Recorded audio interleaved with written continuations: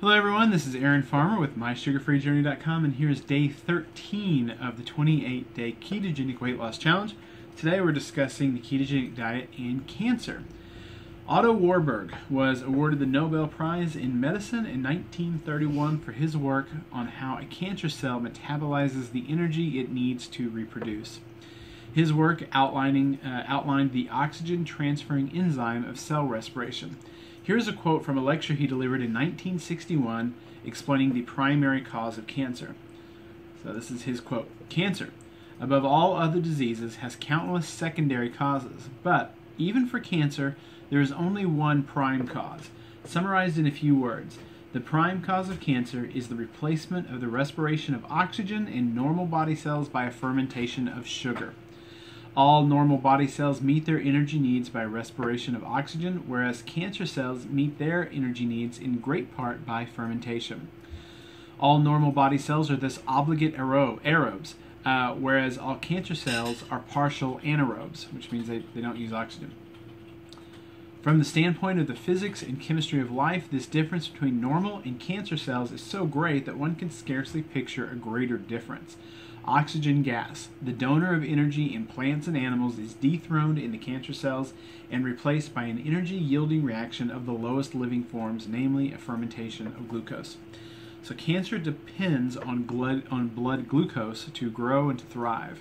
In fact, cancer cells have up to 10 times the number of insulin receptors than a normal cell, making it particularly adept at pulling sugar out of the bloodstream to power its own metabolic processes.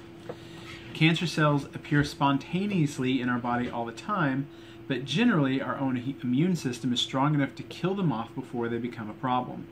We can measure the strength of an immune system by measuring the, num of, the number of neutrophils, which are key components in white blood cells.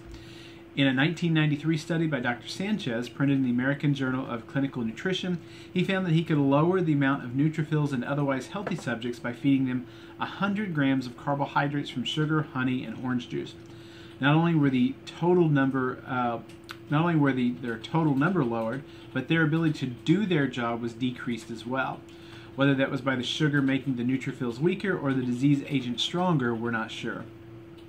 There was a study in Korea that tracked 1.3 million men and women over 10 years. In that time, there were 75,000 deaths, with 26,000 of those being caused by cancer. When the rates of death and cancer, uh, I'm sorry, when the rates of death and death by cancer were graphed against blood glucose levels, scientists found a direct linear correlation between increasing levels of blood, glu- uh, blood glucose, increasing rates of death by cancer, and increasing rates of death by all, by all causes. In short, a major factor in human longevity appears to be the amount of blood glucose metabolized in one's lifetime. This is something I've heard several doctors say over these last couple of years is that uh, the main factor in the longevity of any one given person uh, appears to be the amount of glucose that is metabolized in their lifetime. If you would like to live a long and healthy life, don't metabolize glucose. So you don't eat glucose and you don't eat carbohydrates that quickly break down into glucose. Not only does it increase your risk of cancer, but it increases your risk of all causes of mortality. Um, so, in short, sugar makes you more susceptible to cancer.